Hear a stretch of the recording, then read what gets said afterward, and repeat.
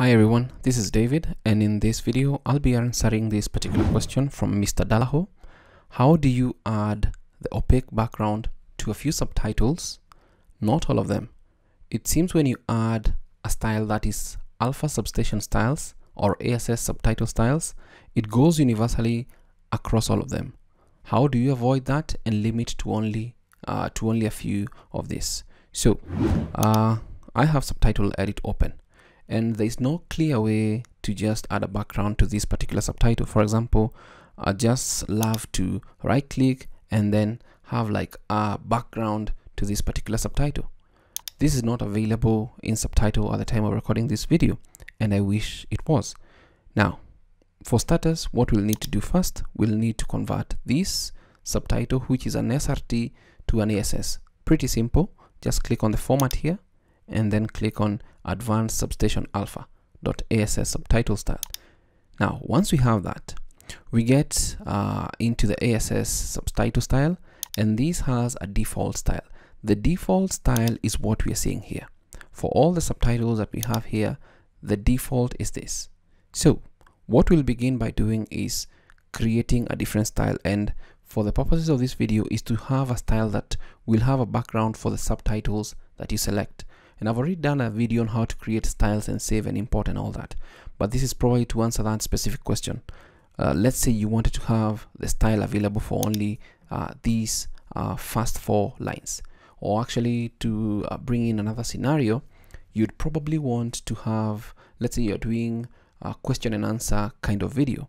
You want the question to have the background or not have the background and the answer to have or not have the background. It's pretty simple so we'll begin by clicking on advanced substation alpha styles. Just click on that. And once you click on that, we have just one style inside here. And the style that we have is the default. And you can see it's the same style here. So to begin, let's click on new. And this is the style that we want to have a background.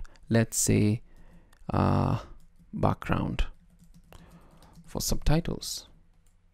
So once we have that, you can also uh, decide to change the font etc. Uh, so let's say we want to have the opaque background and you can see it there. And then let's say we want to bump up uh, the size of the font to about 40 looks good. Uh, you can do any fine-tuning that you want. Let's say to add some transparency to that uh, and everything that you might want to do to that. So once you do that uh, click on OK since we've already set or created a new style, it may not reflect here. But now, let's say we wanted to add a style to this or just have a background for just a select few subtitle lines. Then what you need to do is select the line that you want, if it's one or a couple of lines, right click, set style, background for subtitles. If I just double click on this, you'll see that has a background. If I click on this again, doesn't have let's say we want to have a subtitle background on all this. Right click actually just click on press on shift then click on the last uh, one that you want. Right click set style background and these changes. So when you look at these four lines you'll see that they have backgrounds. And then when we go to the next one uh, this default sorry just click here. This one's no longer have the background but if you were just looking for that that is the way you do it inside subtitle edit. I wish there was an easier way of like just right clicking and then have like an option for background. Uh, you can choose for it to be boxed uh, a, a, rectangle circular edges etc.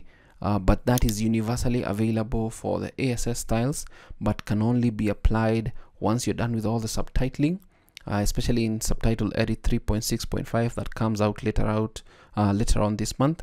Uh, but this is just a quick answer how you can actually have uh, subtitles with backgrounds and others without uh, just a couple of lines. I hope this answers your question. Thanks for asking